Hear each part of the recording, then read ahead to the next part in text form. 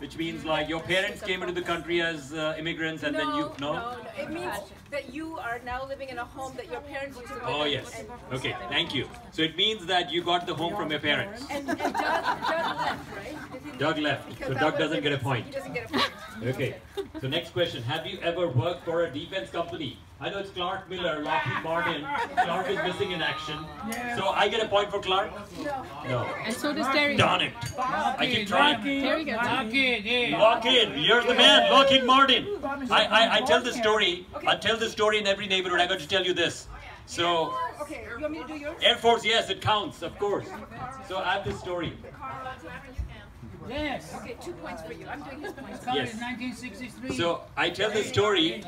So you know we. Okay.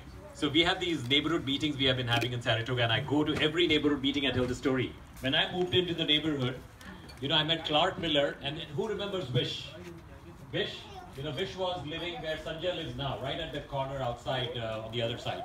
And uh, so Vish and Clark did not know each other. And I talked to Vish, and I said, Vish, why haven't you ever talked to Clark? He, you have been both here for like 25 years.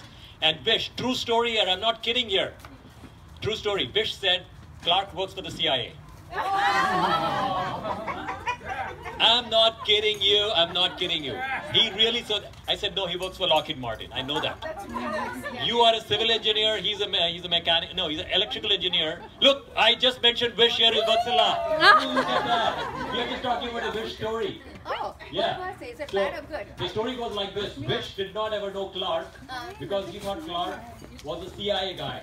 I He know. worked for the CIA. No, it's an FBI. FBI, FBI. exactly. oh, my story is corrected.